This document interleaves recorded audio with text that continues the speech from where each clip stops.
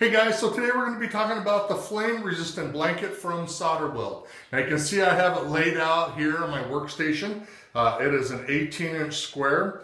It's flame resistant up to a thousand degrees. There's a center slit design. It has multiple uses with welding, soldering, and brazing.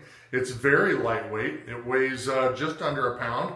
Uh, it's reusable up to a thousand uh, up to a thousand times, and um, it's very doable and it's magnetized. There's actually magnets here on the edges. Now, for today's test, we're going to be using the Solderweld, uh, the 15% round rod, and we're going to be actually brazing on it, and I want to see what it does. Now, I've got today's work. You can see it right here. I'm about four inches, four inches off the top of the blanket. And I'm going to be using an ASCO, an ASCO number four brazing tip that you can find at, uh, at TruTech Tools. And we're going to actually be brazing on it. Now what I did was to simulate uh, a metal panel, I actually wanted something more sensitive and underneath it is white paper. And so I want to know what goes on during a normal brazing day is if it'll actually burn this white paper while I'm brazing this uh, 7 8 coupling.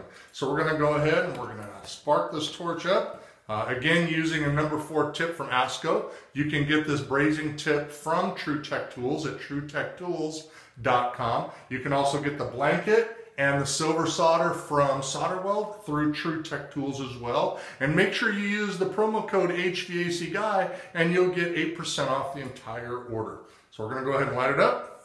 And let's see what the blanket does.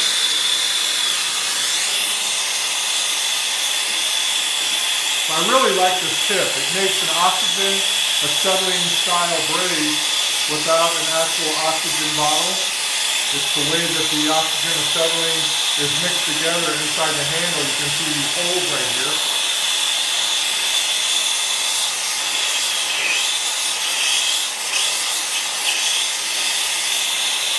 Gonna get this guy nice and hot.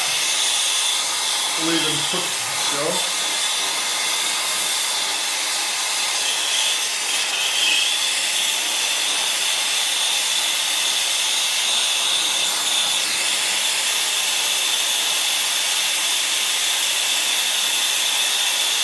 And the idea is to create an environment, a working condition, much like you would on an air conditioning unit or maybe some piping in a home.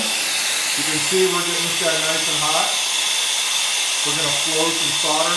I love the 15% round rod from Solderweld. It flows. Oh my God, it flows so great. Now some guys like to stuff the solder in. I do too. You can see how it flows. Man, oh man, I love the way that the solder flows.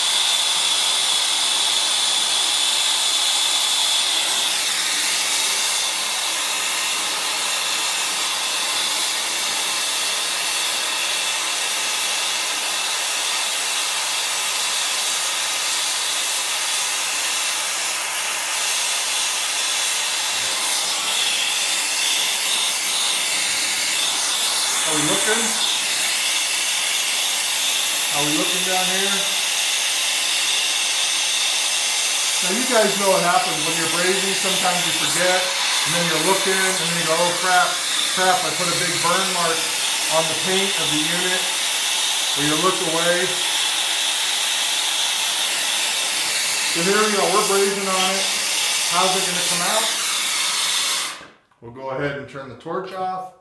The work looks great, but let's see what's underneath. A little bit of a brown mark where I actually got the torch too close and into the blanket, but it did not catch fire. And that's the big thing. So if this was actually a metal panel on an AC unit, it would not have done anything to the paint. It just it got a little bit of a light brown, but in my opinion, it totally worked. You saw how hot we had it. We had it scorching hot. I had the torch right on it. Look right here. You can see a little bit of a burn mark in the blanket, but it did what it was supposed to do and it protected the paper underneath or the finish. That would have been the metal panel, the finish underneath. And again, the, the heat blanket, it did it. It did exactly what I wanted it to do. And so this again is the heat Uh, the flame, excuse me, flame resistant blanket from Solderweld.